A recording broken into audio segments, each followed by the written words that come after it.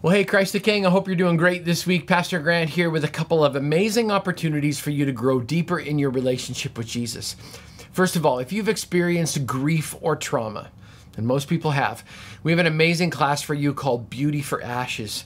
At Beauty for Ashes, you're going to learn how to develop resilience and you're going to find hope. So, we really want to encourage you to check out that opportunity. It starts Tuesday, February the 21st. All of the details are in the email below. Then we have our small group experience. It's three Sunday mornings where you can basically test drive a small group, and it starts on February the 26th. Small groups, of course, are a place where you can find biblical community, where you can find answers to tough questions, and where you can find friendship. And so, I really encourage you to check out the small group experience. Once again, look in the email below. And then we have a class called Hearing God. It's one of our most popular classes here at Christ the King Community Church because we all have questions. Am I hearing God? Am I hearing myself? Am I hearing something else? And so, how do I know and discern the voice of God? The Bible promises that as God's sheep, we all hear his voice and we know him.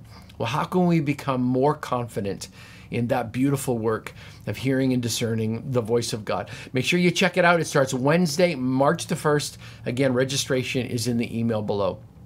Finally, if you're a parent, we've got a class for you. It's called Talking with Your Kids About Relationships and Sex. Don't need any more information than that, and I think we could all use a little bit of help in some of those areas. So make sure you check out the links below as well. Hey, this weekend, we're going to be wrapping up our series called Break Free. We're going to be doing that by celebrating baptism with people. It's going to be an incredible, incredible weekend.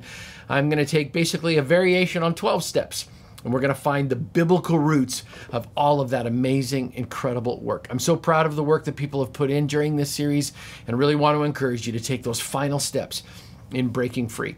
So, whether you're joining us online or in person, really doesn't matter. I'm just excited to experience church with you this weekend right here at Christ the King Community Church.